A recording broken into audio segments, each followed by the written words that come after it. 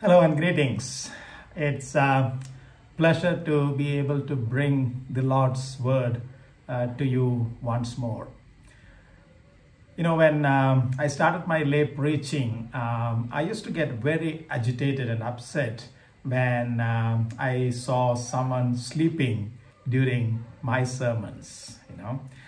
I used to think that it is really rude and unspiritual for the person to do that. Uh, I mean, how could somebody sleep, especially when a splendid preacher like me was preaching, right? I was, I had put in a lot of effort to prepare. I had put in a lot of, um, you know, research and prepared the message, and then, uh, you know, I go and deliver it so passionately, and then I see some people sleeping. I just couldn't fathom it that's really when one of my spiritual member mentors you know opened up my eyes opened my eyes uh, to uh, the uh, fact that sleeping during a sermon is actually biblical right and uh, that's when um, you know that that's the first time that uh, I came across the second reading that we went through uh, today, right? Acts 27 to 12, where Paul goes on preaching and uh, Eutychus, uh, you know, falls asleep and falls down from the window.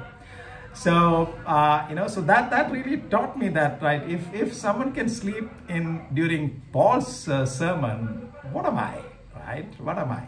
So from that day onwards, I have never felt bad about someone sleeping during my sermon. And the only request that I have had uh, for someone sleeping during my sermon is that they should not disturb someone else by snoring loudly, you know. Well, uh, jokes apart, uh, right? Uh, today's theme is the life-giving power of God. Life-giving power of God.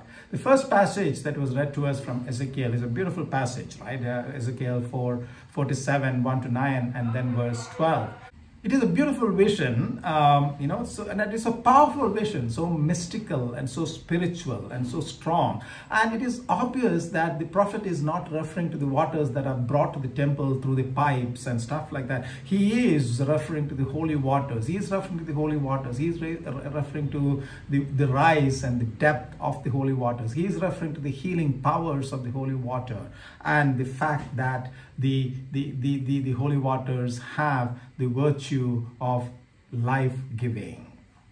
This vision, um, you know, if you, if you really, um, uh, you know, go through uh, some of the prophecies, would realize that this vision is in line with uh, the, the, the prophecy that uh, Zechariah did. And Zechariah prophesied in Zechariah 14 verse 8. If you go to uh, that, you will read it like this. You said, it says that, and in that day it shall be that living waters shall flow from Jerusalem, half of them towards the eastern sea and half of them toward the western sea.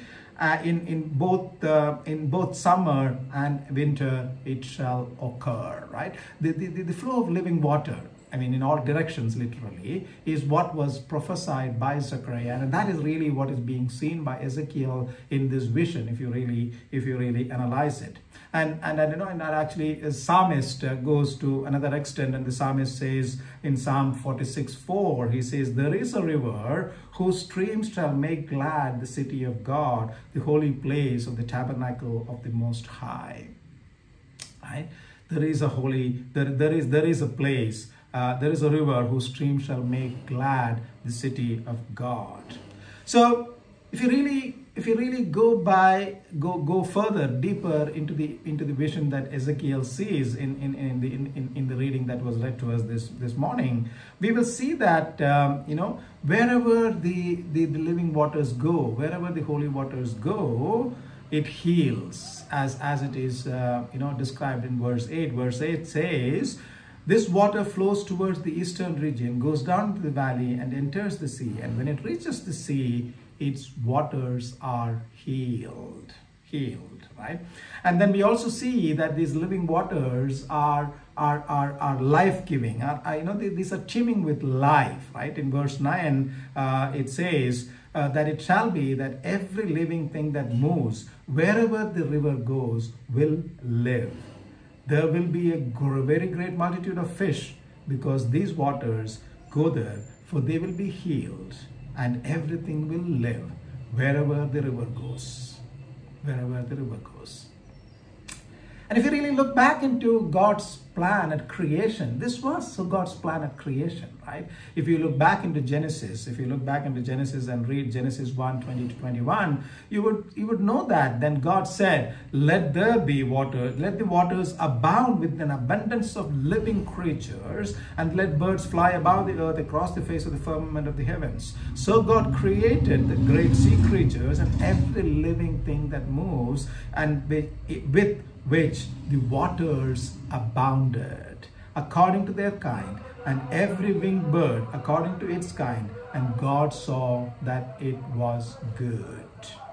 So this this this this this this concept of the living waters, this concept of the holy waters teeming with life was there and what that was God's plan right from the beginning that the living waters should teem with life with with, with, with you know with living creatures and stuff like that. But then something happened, all of us know, right? God's plan that was there during the creation, we men didn't allow it to happen. We humankind didn't allow it to happen. We sinned. We messed up things, right? And when we messed up things, all that we deserved was barrenness and dryness and drought and death, right? As, as it is as it is said in Deuteronomy 29, 23, uh, the whole land is brimstone, salt and burning it is not sown, nor does it bear, nor does any grass grow there. Like the overthrow of Sodom and Gomorrah, Admah and Zeboim, which the Lord overthrew in his anger and in his wrath. So this is the barrenness that we would have been living in if, if, if God was not gracious. Because of the sin that we, we, we got into, this was what we deserved. Barrenness, death, no life. But then God, in His mercy, God is a loving God. God is a gracious God. So God, in His mercy, didn't want us to live in a barren life. God, in His in His in His mercy, didn't want us to be uh, dead. He wanted us to have life, and He wanted us to have life everlasting, abundant life, abundant life, right? And, and so through the visions that God gave prophets like Ezekiel and Zechariah, God was speaking about the greater grace that was to come. The greater grace that was to come.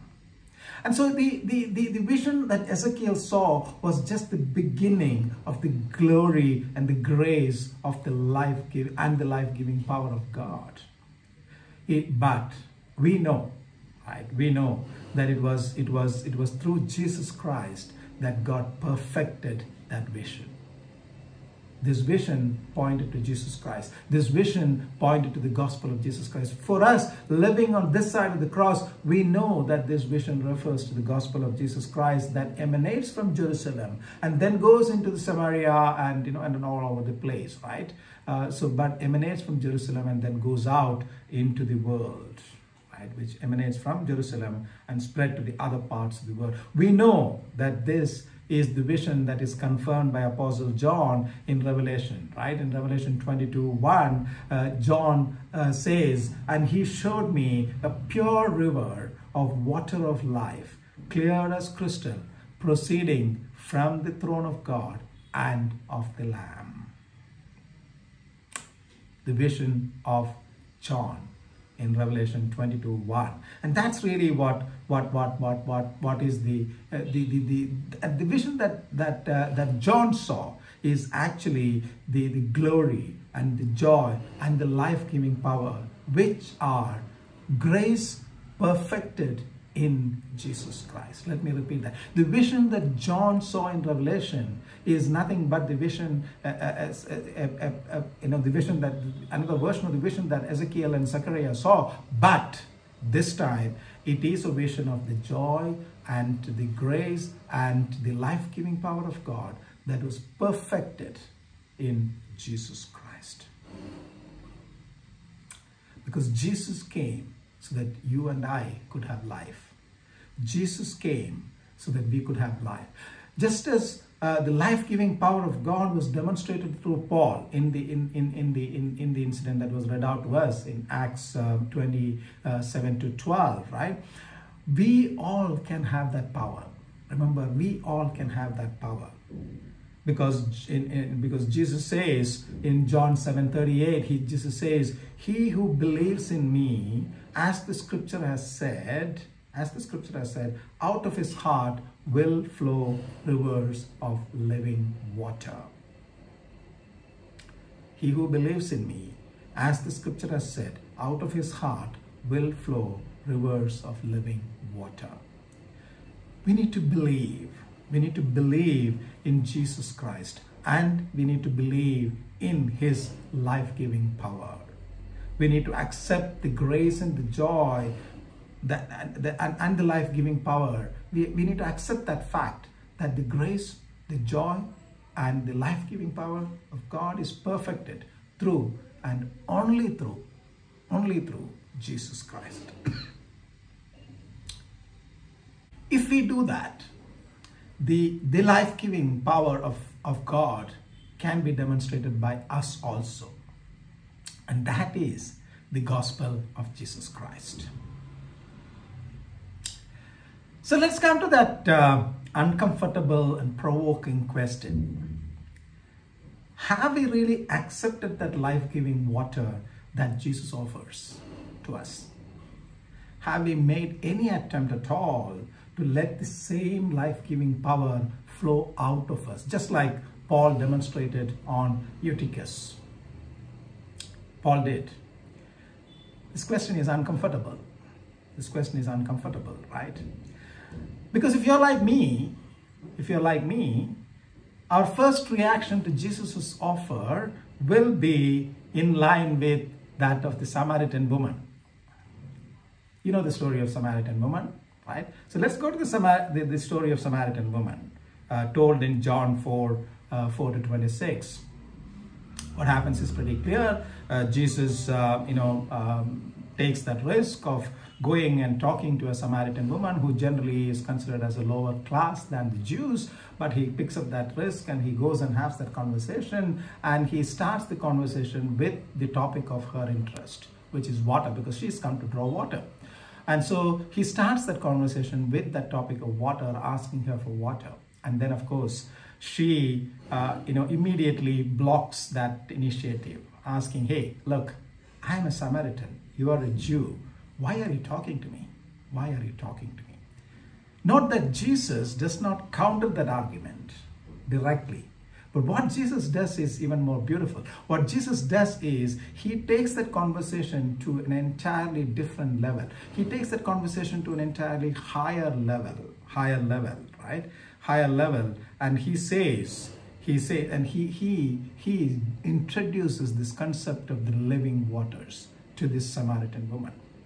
He says, uh, you know, he, he says in John 4, uh, 10, he says, uh, if you knew the gift of God and who it is who says to you, give me a drink, you would have asked him and he would have given you living water. So Samaritan woman tries to block the conversation by saying that, hey, look, we are not, we are not at par. We are not equal, right? I'm a Samaritan woman. I'm a different class. I'm a lower class. Why are you talking to me? And then Jesus completely lifts up that conversation to a different level, saying that, look, it's not normal water that I'm talking about. If you just, if you just knew the gift of God and if you knew who is asking for this, we can talk about living water. Now, again, the uh, you know woman blocks his uh, initiative. All right all right you're offering me living water and all that stuff but hey you don't even have anything to draw water with and the deep the water is the, the, the well is deep. How are you going to draw water right? How are you going to draw water? Uh, you know and then so uh, and, and and so so basically and, and then of course he goes on to she goes on to argue that look it is jacob who has dug this well. Are you are you greater than jacob and all that stuff? Right again Remember, Jesus doesn't confront her, uh, you know, in a, in a violent or in a provocative manner. Jesus takes it to another different level, right? Jesus explains further what is it that he is offering. Jesus says in John 14, John 4, 13 to 14, he says, whoever drinks of this water will never thirst again. But whoever drinks of the water that I shall give him will never thirst. Right? Sorry, Uh, whoever drinks of this water will thirst again, but whoever drinks of the water that I shall give him will never thirst. But the water that I shall give him will become in him a fountain of water springing up to into an everlasting life. So, so Jesus is actually taking that whole conversation into an entirely different. He is talking about eternity here. He's talking about everlasting life here, right? He says, "Look, I don't need any uh, implements to draw uh, water, right? I am the source.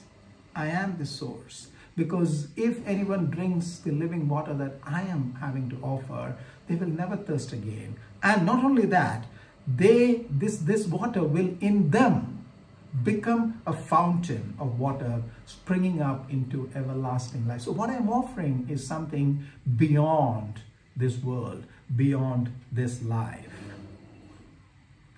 That's finally when uh, the, the, the, lady uh, ultimately succumbs and says, all right, give me that living water.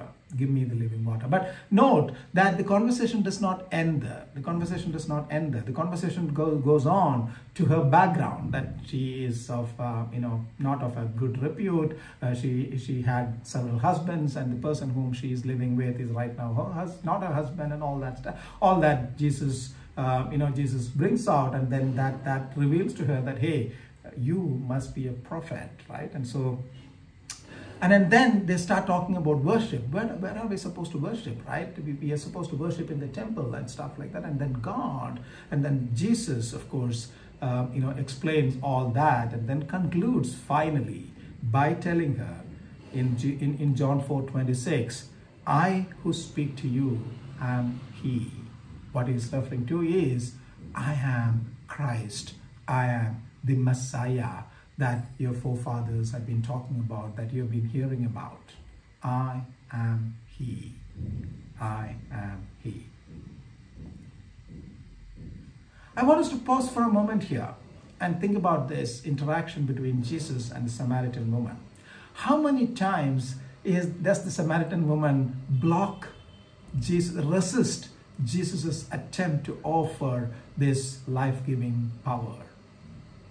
How many times does she resist receiving that life-giving water that Jesus is offering? And then I would like us to think about ourselves for a moment. Forget about the Samaritan woman. How about us? Even though we are regular church goers, even though we call ourselves Christians, right?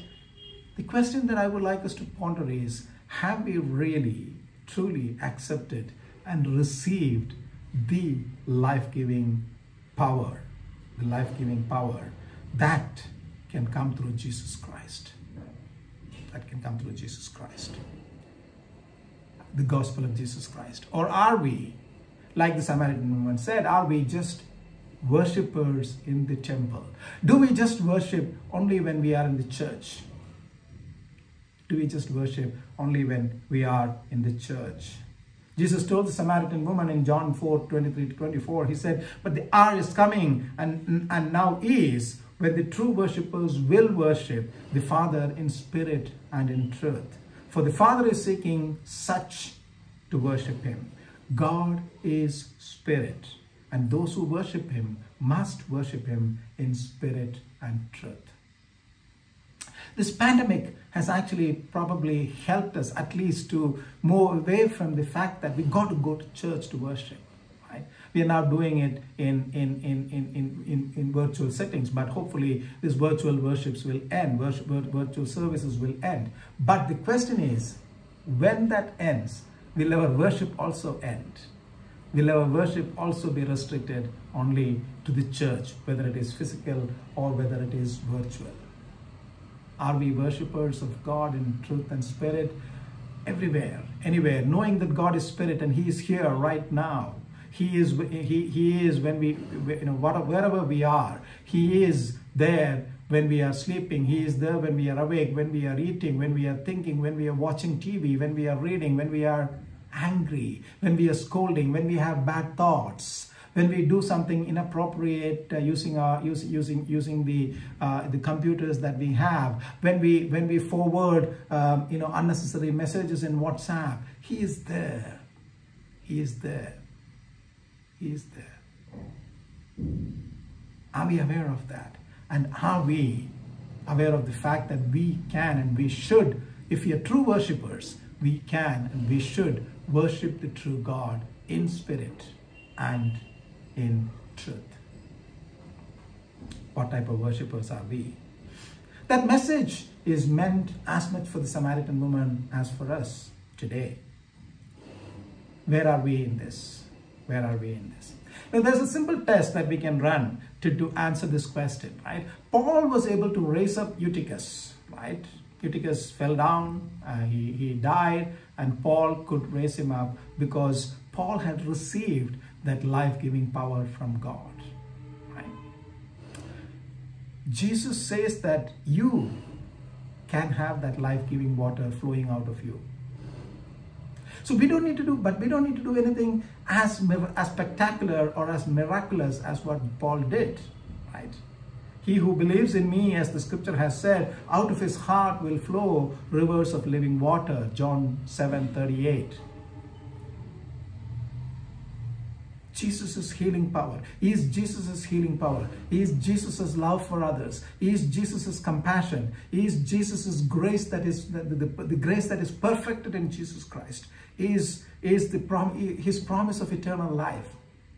Is it flowing out of our behavior? Is it flowing out of our day-to-day -day life? Is it flowing out of our hearts to others? That's the test that we can run to find out if we have received the life-giving power of God. If we have received the life-giving power of God, we wouldn't keep it to ourselves. It will flow out from us as John 7:38 says, "He who believes in me, as the scripture has said, out of his heart will flow rivers of living water." So we, we can make it happen. But the question is, are we ready? Are we ready? Are we ready? And are we willing to accept that and let that rivers of the, the rivers of living water flow out of us out of us. Let's pray that we will be receptive to the life-giving powers power of god that comes to us through the gospel of jesus christ. And let us pray that we will not stop at just receiving it but that we will be dispensers of that grace. We will be dispensers of that life-giving power to others so that others may know the truth, so that others may come to light, so that others may see Christ in us and be saved. Thank you for uh, listening to me and may God bless you all.